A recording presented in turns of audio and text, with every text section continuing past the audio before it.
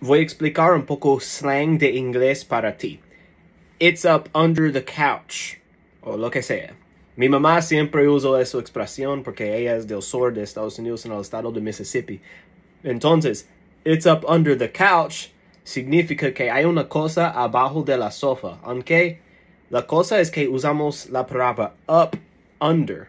Under significa abajo, pero up es arriba. Entonces, ¿por qué usamos arriba?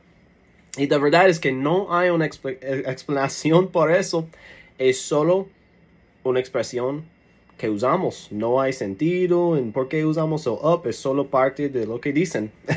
es contra de las reglas, la verdad. It's up under the couch. Es como it's up under the couch, la sofá.